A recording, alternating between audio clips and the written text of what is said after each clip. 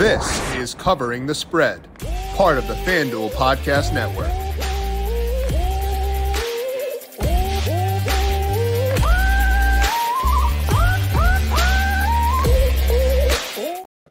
The Florida Panthers are Stanley Cup champions with their win over the Edmonton Oilers last night. And that officially means we are into the summer months. That means the Olympics around the corner. That means we got the Tour de France coming up. We have got the NBA. We've or we got the WNBA. We've got Major League Baseball. A lot of stuff going on. We're featuring all that across the show here for the next couple of months. For today, it's the Commissioner's Cup in the WNBA as the Minnesota Lynx trying to knock off the New York Liberty. We're going to preview that game with Annie Nader, letting you know where she sees value for that game over at FanDuel Sportsbook. Then I'll talk some baseball later on as well. This is covering the spread right here on the FanDuel Podcast Network and FanDuel Research. My name is Jim Sannes. I am a managing editor of digital media for FanDuel Research. Joined here to kick things off by Annie Nader. You can find her on X at a Nader33 and find her work over at FanDuel Research, talking baseball throughout this summer, talking uh, WNBA, talking some NFL as well. Annie, appreciate the time. How you doing today? I'm good, Jim. Uh, excited for the game tonight. It'll be a pretty good matchup and some financial incentives for these players, so that's always good. So.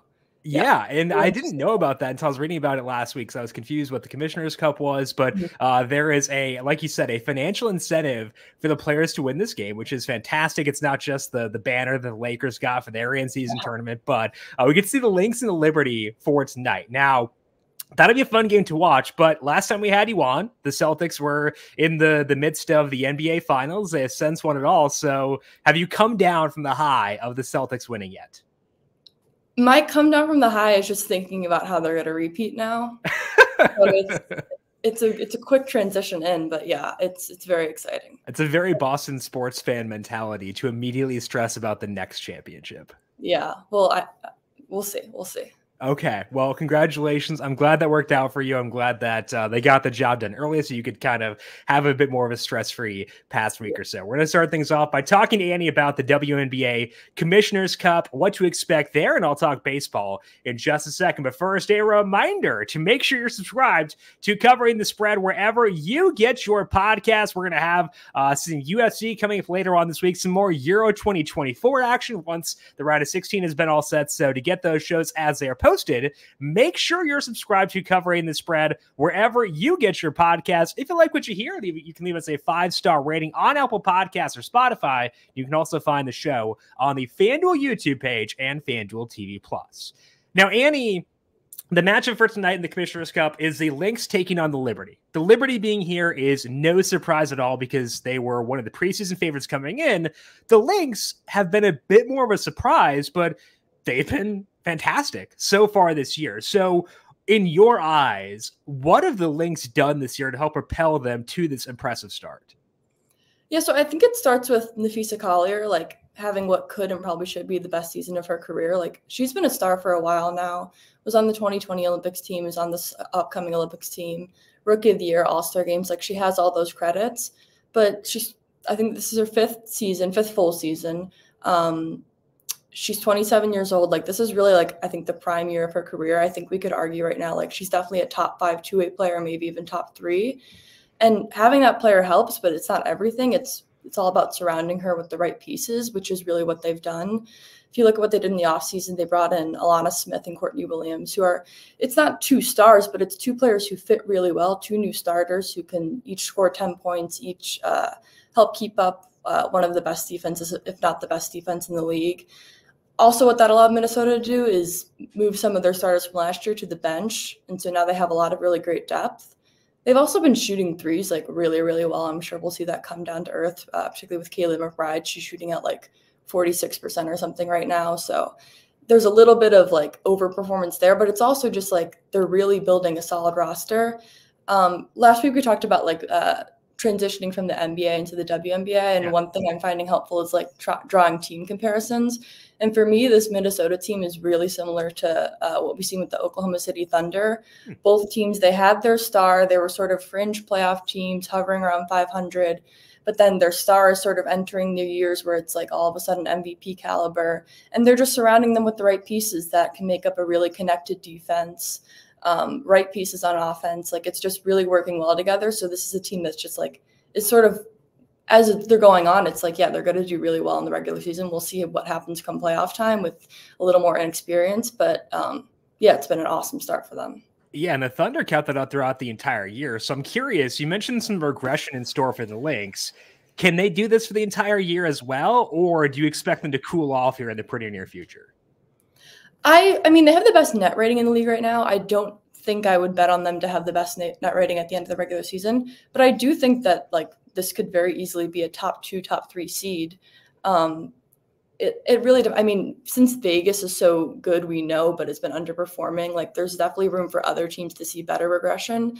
So I think that, like, there's definitely a little room for cooling off. But, like, this just, I think we're seeing them in sort of their thunder year where they have their best player having one of her best seasons yeah. and have really found the right pieces to surround her with. Okay, so the Lynx uh, deserving, earning their spot in this Commissioner's Cup final as they take on the Liberty. Before that game, the Liberty are favored by five, and that has come down a half point from where it mm-hmm. was yesterday. So seems like there's been a bit of money on the Lynx. The plus five for Minnesota is currently minus 112 at FanDuel Sportsbook. So are you tempted by either side of the spread in this game, Annie? Minnesota. I mean, it okay. stinks that it's down from five and a half, but I still think this is like not like I think this is a really good number still. Like these are the Minnesota best net rating league. New York's right behind them. Like me siding with Minnesota is not an indictment of New York. Like we know they're a really great team, but Minnesota, their defense is really, really good. They've been they have the best three point offense and best three point defense. We mentioned the financial incentives. I think that for Minnesota, that maybe matters a little more so, just because they have less stars, less players getting like deals outside of basketball. New York also won the cup last year. Like it's not that New York's not going to have any incentive, but like this is a huge game for Minnesota. They've only lost three games this season. Two of those were just by one point. So it's not like we've seen them lose big games really. The and the one game that they did lose by more than a point was to the Aces. N- New York has like kind of dropped like random games. They lost to Chicago. They lost to Phoenix. Um, they don't besides like Indiana and Atlanta, like they've blown out those teams, but they usually can keep things pretty close. Like this to me just seems like a game that's going to be very close. So getting five points here for the team with the best net rating, who's coming in with a pretty clean injury report, whereas we have some injury news potentially in New York. Like I definitely like that. Also, this is a home game for New York, but they're not playing it at Barclays because of the draft tomorrow. So they're gonna have to go to UBS Arena. So like that takes a little bit off of the home court advantage a bit. Um, but I just I, I think this will be a really close game and getting five points here, I still think is is lovely. So when we had you on two weeks ago, you called the Mystics. Uh, you you mentioned their spread, and they won the game outright. Any temptation for you to take the the money line with Minnesota plus one seventy six here, or is the flexibility when you've got so many stars on the opposing side? You know, if if if Stewie turns it on late, you kind of want that flexibility, the plus five instead. Yeah, that's definitely the case with New York, just because they have three players who can really like they just if you're finishing a game like you right. want those three players that they have. But if i am targeting a minnesota win here i'd honestly think i'd prefer to do it in the commissioners cup mvp market. Okay. Um, which is i think if you go back you can yeah. Um, collier here at plus 290 the money line last night was plus 180 and she was plus 280 here. So we're seeing some positive movement if we're targeting this market. I just think like if minnesota wins tonight like Collier has to have a good yeah. game. And also, right now, like she would probably be the MVP for Minnesota's team. Kayla McBride's been doing awesome, but like I would still give it to Collier at this point. And if Minnesota's going to win, like it'll be because Collier had a great game. Like they can't afford for her to have a bad game.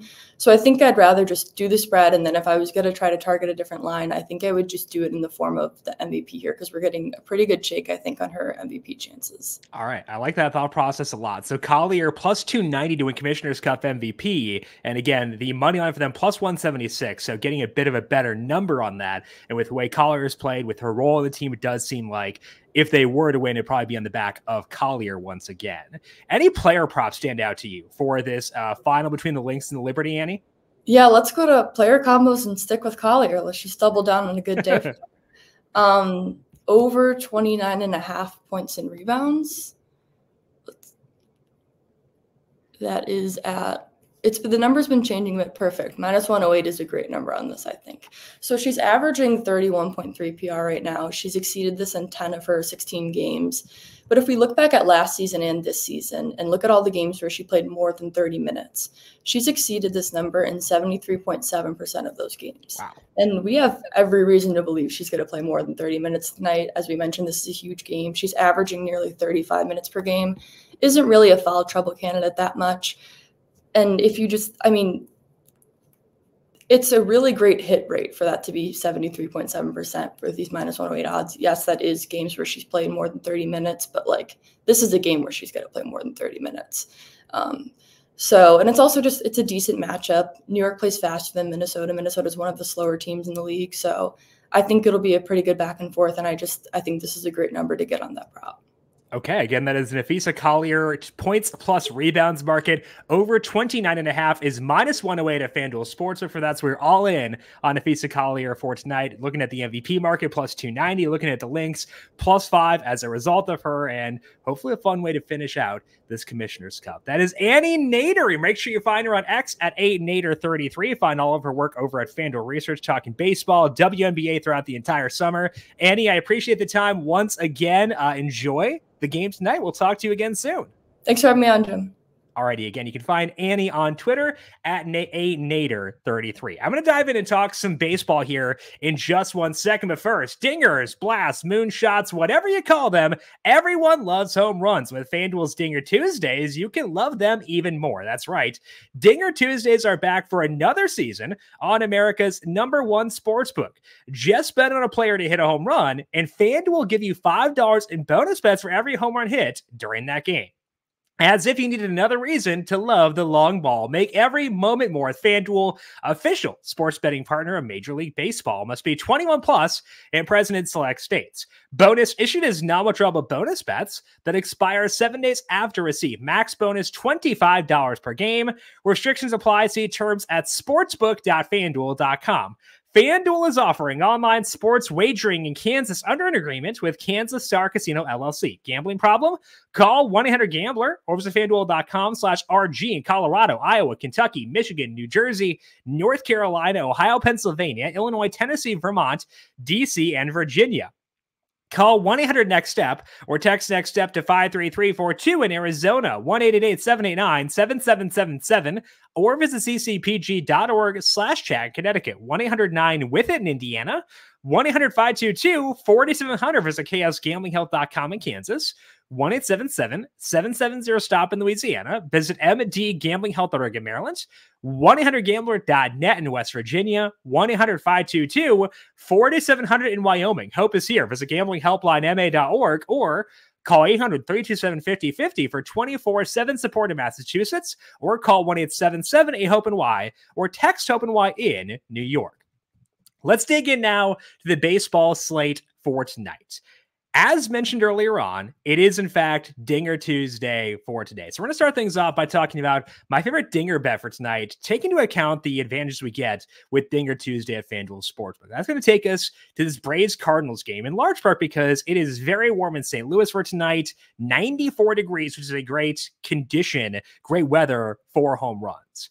And that may boost Brendan Donovan enough to make him a very fun bet at nine to one to hit a dinger for tonight. That's where I turn for our Dinger Tuesday bet on this Tuesday. Donovan down a bit from 10 to 1 earlier on this morning, but I do, do still like him at 9 to 1 because he's been hitting the ball really hard this month. He has a 39% hard hit rate across the past 30 days. That's not an amazing number, but it is improving. He also has a 38% fly ball rate against righties so far this year. The increased hard contact has led to four home runs for Donovan in a pretty short sample. He's got eight total this year. Against righties, his ISO is 178, and again, a 38% fly ball rate. So, again, not the most amazing numbers for Donovan, but they are improving. He is facing a righty here, and we get really good weather for tonight. Donovan is facing Reynaldo Lopez, who has done an awesome job this year. His ERA is is phenomenal, but he's let up a 40% hard hit rate with a 41% fly ball rate. He pitches in a pretty tough park for pitching, but it is still, again, tough conditions for tonight in St. Louis with the temperature being so high.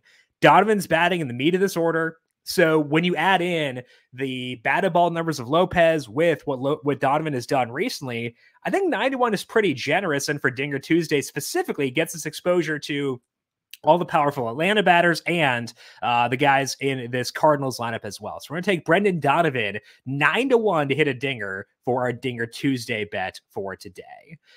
Sticking with that same game, let's talk about the same the first money line I like for tonight. And no surprise if I'm on uh, Donovan to hit home run, I am on the Cardinals here. That is a plus 116 at FanDuel Sportsbook. I talked before about how I'm expecting some regression for Lopez. That's part of it, but also I really do like what Kyle Gibson is doing right now, and he's starting for the Cardinals for tonight. Gibson's been cutting back on his changeup usage so far this year, instead throwing more sliders and cutters. The slider specifically, or a sweeper, if you go to Baseball Savant, has a 44% whiff rate according to Baseball Savant. So more sliders is a very good thing for Kyle Gibson. He also doesn't let up a ton of hard contact with that pitch, only a 27% hard hit rate. So getting whiffs, suppressing hard contact, and throwing that pitch more. That's a big part of why Gibson has a 3.44 ERA over 14 starts this year. This Cardinals offense just got Willson Contreras back last night, which is a big boost for them because he does uh, have a lot of power and they're pretty desperate for that. And they are at home as well. This Braves offense, obviously, Ronald Acuna, they've been playing a bit better recently, but still not what they were earlier on this year. So I really do like the Cardinals to win this game. My model as the Cardinals as slight favorites in this spot at home. So I think that we can feel pretty good about getting them at plus 116 for tonight. Obviously, if we are on uh, the Burleson or the Donovan home run prop, we're on the Cardinals uh, money line. Those two bets are pretty heavily correlated. Uh, if you tie them together, that's uh, plus one, uh, plus thirteen eighty. So uh, almost fourteen to one on those two bets tied together as a, a, two legs of a same game parlay. I do like Gibson over his strikeout prop at FanDuel Sportsbook. My one concern there is there could be some rain in this game. So if you want a third leg in this game for a three leg same game parlay, I would check back on the weather later on to see what things look like there. And if we get the all clear, then maybe you lop on the Gibson strikeout prop. I actually think that the alt strikeout number six plus strikeouts for for Gibson plus 158 is not bad. You could instead, if you want to take out the Donovan home run number, go just the Gibson strikeouts and uh, the Cardinals to win. That is plus 310 at FanDuel Sportsbook for that two leg same game parlay. So check back on the weather here. If we get the all clear, you can toss Gibson and his strikeout uh, numbers into a potential same game parlay for the Braves and the Cardinals. Couple strikeout props that I like for tonight. Both those are unders. Let's begin things with this Yankees versus Mets game. Gerrit Cole in his second game back off the IL. And I want to go Cole under his strikeout prop. Now, this has moved pretty heavily since I was looking at this earlier this morning. He was under five and a half plus 120. It's now under five and a half at minus 104. I still think there's value there personally because I've got Cole projected at 4.85 strikeouts for tonight. So even at minus 104, this is still a value for me. Cole is facing the Mets, who are a low strikeout team. They have a 21.4% strikeout rate against righties this year. I'm still not sure what Cole's pitch count will be. That's a big part of why I want the under here. He did throw 68 pitches in one of his rehab starts. So that's his max so far because he went to 62 in his first big league start. I'm probably not expecting Cole to jump from a max of 68 back up to 90 when the Yankees are very clearly a team with their eyes in the postseason. I don't think they're going to push him to 90 right away. I haven't projected for 80. He might go beyond that, but I think that's probably a realistic median expectation for pitch count for tonight.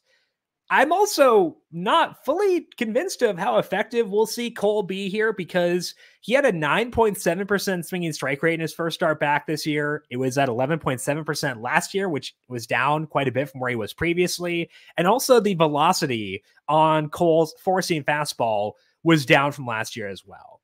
If Cole were facing a higher strikeout team, that's one thing. Uh, I could understand having them at five and a half. But when you combine a low strikeout team on the road, I know it's the same city, but like it's still on the road. Um, and with the fact that we're not sure what his pitch count will be, I think taking under five and a half, even at minus 104, is still a good way to play things. So we'll take Cole under five and a half strikeouts, minus 104 at FanDuel Sportsbook. The final strikeout prop for me for today is going to be in one of the later games. We got Mackenzie Gore revenge game taking on the San Diego Padres for tonight. Gore's strikeout prop is at five and a half. His under is plus 112. And for a high strikeout guy with Gore, it may be surprising to go under here, but I do think that's the best way to go in large part because of the situation. Gore is on the road facing a super low strikeout team. The Padres have a 17.3% strikeout rate on their current active roster against lefties this year. So it's really tough to get strikeouts against a team like that. And Gore's been great. He has a 28% strikeout rate overall, but he's had a lot of starts at home recently. So you'll look at his game log and you'll see a lot of big strikeout totals, but a lot of those have come at home. He has made four consecutive starts at home, five of the past six, and he has gone over five and a half in three of his past four road starts. So I'm not saying just because he's on the road, we should take the under. But when you combine the fact that he is on the road with facing a very low strikeout team, I have Gore projected for 5.17 strikeouts. That puts his under odds well above 50%. So getting plus 112 on the under here, I do think makes a lot of sense. So we'll take Mackenzie Gore under five and a half strikeouts at plus 112. So MLB props I like for today.